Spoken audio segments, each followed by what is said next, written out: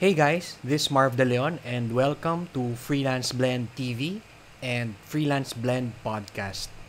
Thank you again for continuing to support the show. We are on our 158th episode. So we've, we've been doing this for the past uh, four years and we'll continue to give you value and uh, help you with your freelancing career and questions about freelancing and online business. And this is another episode of Ask Marv where I answer yung questions na pinadala nyo sa akin through email, through uh, messenger, and um, I would like to um, encourage you to uh, continue sending us your questions and we'll be happy to answer them. So to do that, just message us on Facebook, facebook.com slash freelanceblend and just uh, click yung send message. Or you can email me directly at marv at freelanceblend.com. Now, for our question today is from Jorel. So, thank you, Jorel, for sending this message. Uh, medyo may kahabaan and that's why I wanted to dedicate one full episode for uh, Jorel's question. So, ano tayo? Para tayong Kuya Eddie or Joe Damango. Okay. Ang sabi niya, marami na po akong researches na ginawa in the past two years para makapag-start ng online business. Mga how-tos of online selling, affiliate marketing, blogging, monetizing YouTube videos, posting gigs sa Viber, where I was banned and the reason was not specifically explained to me, etc., etc. I was even attending webinars before of an entrepreneur coach. I also bought an online course before para mag-guide ako. I followed diligently yung mga steps na binigay nila. But up until now, I am still having a hard time. To be honest, I don't know yet what where I am good at. What are my strengths? Maraming pagpipili ang niches sa mga binasa ko and I chose to do those now which I think I can do or those which interest me. But it isn't working for me. Sabi nila gawin ko kung ano ang passion ko. But I'm still asking myself, ano ba ang passion ko? I really feel lost right now. I purchased my domain name this year and was finally able to monetize it using AdSense. Congrats! Uh, I only share my experiences there about random things. And as of this writing, I check at my page views history. It's currently at about uh, 4,000 views po. I don't know where I should focus myself into. I feel like masyadong kalat-kalat ang mga ginagawa ko kaya hindi po ako umuunlad sa larangan na ito. Maybe if I could realize what my niche passion is, makakapag-focus ako doon at yun ang i-improve kong skill. Pasensya na po kung medyo napahaba. Hindi naman, Jorel. But that's okay. Uh, ganito yung mga questions na magandang uh, itackle and i- isagutin. And I appreciate uh, these questions kasi meron tayo nagtatanong dyan mga how to start. Hindi naman nila ine-explain. So, this is better and mas madaling, uh, yun nga, mas madaling i-address. And uh, I'm sure marami rin nakaka-experience niyan ng uh, dilemma mo ngayon kasi uh, na-experience ko rin yan. So, marami ka nang tinake na course and ang ang ang kumbaga uh, ulitin ko no yung yung sinulat mo to be honest I don't know yet what where I'm good at what are my uh, good at what are my strengths maraming pagpipilang niches sa mga binasa ko and I chose to do na which I can I think I can do or those that interest me. But it isn't working. Sabi nila gawin ko yung passion ko but I'm still asking myself ano ang passion ko? So um to answer that it's good that first na you are aware of uh, what you need to do to um, become more successful. Number two, uh, good thing also is that you you took action, which is gumawa ka na ng website and um, naka, na-monetize mo pa nga. So that's very good. I would suggest na you uh, baby steps, small wins, uh, wag masyadong maging uh, wag masyadong ma-down kung maka-experience ng losses just uh, stand up uh, when you fall down and continue crawling or walking or running. Um unti-unti lang. And um, similar to myself uh, I talked about yung first online business ko sa previous episode. I think that would be episode 156 or 157 um, na ay yung first online business ko or online um, na ginawa ko was to hold on. May pumasok sa kwarto. Yung first online na ginawa ko was to uh, create a forum for uh, for Mo Twister.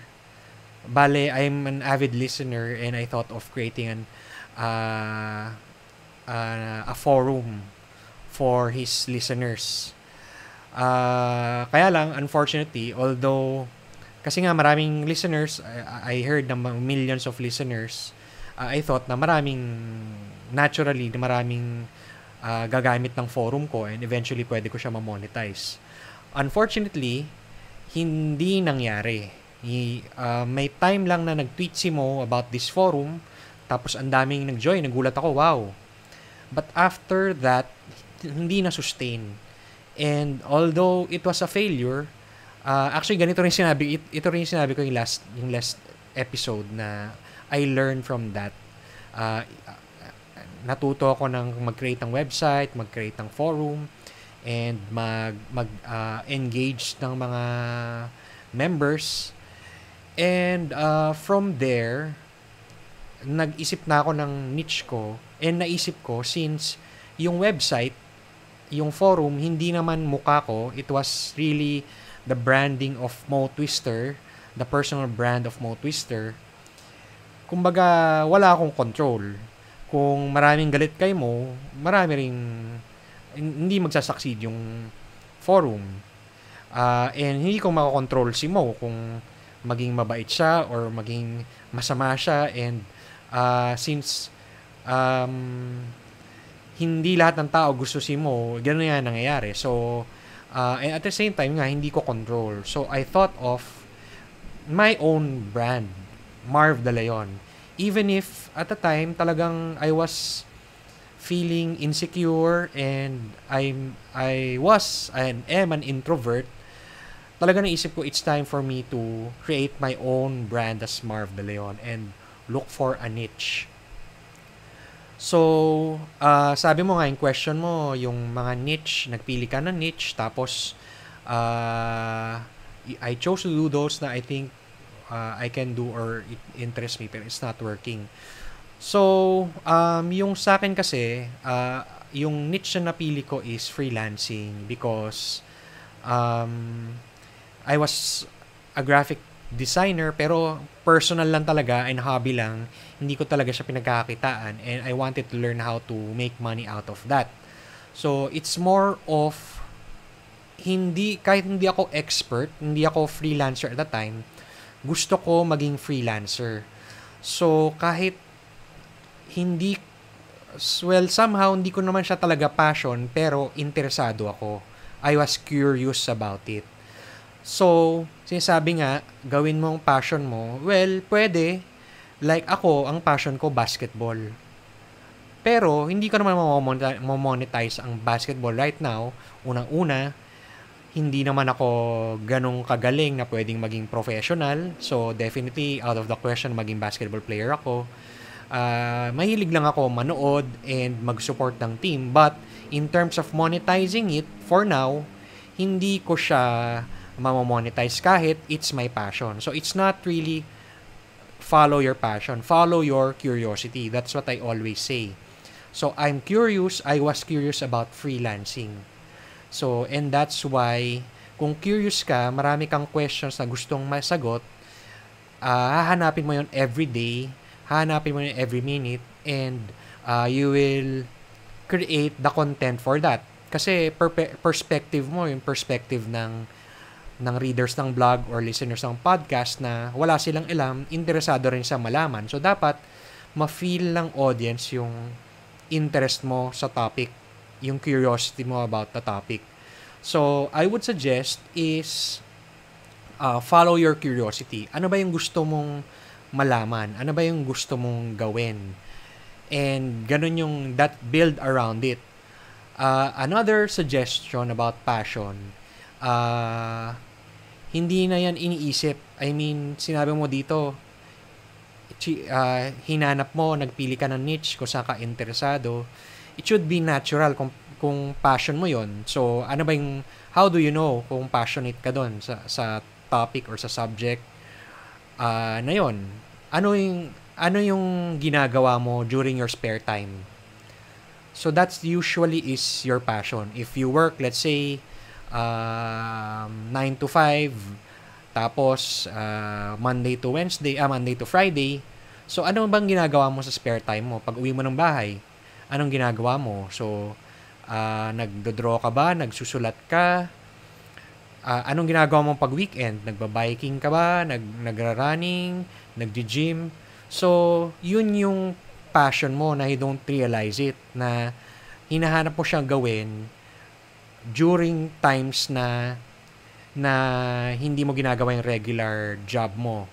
So, ibig sabihin, hindi ka pilit gawin yon Natural na gusto mong gawin. So, that that's the description naman for me. Ayun yung, ay, for me, yun yung passion. So, similar, uh, like for my wife, I was helping her with her website uh, related to finance kasi yun yung expertise niya sa job. And it turns out na I even hired a coach for her. And it turns out na uh, hin, na, nagkaroon na siya ng website but hindi niya na-sustain. Kasi hindi naman niya expertise niya pero hindi naman niya passion. So I asked her well I I know asawa ko siya. Alam ko kung ano yung passion niya. So every time, every weekend or kunyari holiday, nag gumagawa siya ng mga paper craft. So y- tapos kung may yeah, spare time din, gumagawa siya ng paper craft, bumili pa siya ng lahat ng mga equipment, tools, etc. etc. etc. Kasi nga yun yung passion niya. And turns out mas interested siya uh, gumawa ng content for that. Pero right now, hindi pa niya ginagawan, pero it will be easy for her to create content for that. So, again, yung expertise versus passion, turns out yun pala yung passion niya. So, sa iyo, ano ba yung ano ba yung passion mo? Ano ba yung gusto mo gawin during your spare time na hindi ka pilit gawin? And uh, another thing is hindi mo napapansin yung oras kung ginagawa mo siya. 'Di ba? So, yun usually kung uh, napansin mo, tatlong oras na pala ginagawa ko to. It means you're really interested in what you're doing. That's your passion. So, baka lang hindi mo na-identify yung mga passion na yon based on how I described it. Kung ano yung curious ka o kung ano yung ginagawa mo gusto mo gawin during your spare, spare time. So, uh, yeah. So, tanong mo, I, so, towards the end, yung tanong mo, I don't know where I should focus myself into. I feel like masyadong kalat-kalat mga ginagawa ko, kaya, kaya hindi po ako umuunlad. So, yun nga, kalat-kalat. So, but once you identify that passion, then focus ka na doon, maybe I could realize what my passion is, makakapag-focus ako doon. Exactly, improve your skill. So, again, um, yun, figure out kung ano ba talaga yung uh, yung gusto mo gawin or ano yung uh, make be more conscious kung ano yung passion mo, kung ano yung gusto mong ginagawa every single day or every time na may spare time ka or at the same time ano ba yung curious ka gawin pa lang. Okay? So I hope I was able to answer uh, your long question, Jorel. I, again, I appreciate this long question. I, I encourage you more to send uh, to send more uh, of these types of questions that people will also love to hear the answers uh, about. So again, uh, I would encourage you to send us a message for your questions. Uh, Facebook.com slash freelance blend or email me uh, at marv at freelanceblend.com with the subject line Ask Marv. So para I know that it is an Ask Marv uh, question that we can feature on the show. And uh, kung gusto yung ma-feature sa show, give us give me your full name and your uh, website tapos let me know na please I would like to be featured on the show. Lastly, I would like to encourage you guys to uh, join our community of uh, Pinoy freelancers sa Facebook. We have a Facebook group, uh, uh, slowly but surely growing Facebook group. So talagang sinasala namin yung members. We really want people who are uh, passionate about freelancing and who would, would like to uh, become a freelancer, a successful freelancer, uh, maybe in the future or right now. So just join us. Uh, go to freelanceblenders.com. So if you go to that website, freelanceblenders.com, automatically mapupunta kayo sa ating Facebook group and just answer a few questions. We'll screen you and we'll approve you if you are a fit sa aming community. Okay, so that's it for this episode. Thanks again for watching and listening. If you're listening, uh, please also watch us sa YouTube, freelanceblend.com slash TV. And if you're watching naman, you can also listen to us sa iTunes or Spotify, freelanceblend.com slash iTunes or freelanceblend.com slash Spotify. Again, that's it for this episode. Thanks again for watching or listening and peace to everyone. Bye.